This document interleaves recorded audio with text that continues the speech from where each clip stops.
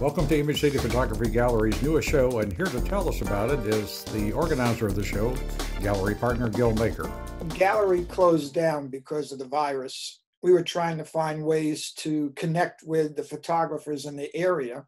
So every week, a new topic would be posted. Photographers would upload their images. At the end of each week, the partners would vote on the top three images. But when we opened up the gallery and changed the idea of what the challenge contest should be, um, we decided that we thought that the photographers who have entered it would have fun seeing their images on the wall. So we put the show together that allowed a photographer to enter any image that they did on any of the challenges. We're pleased to have six guest photographers and visiting artists in the show, in addition to the entrants to our weekly photo challenges.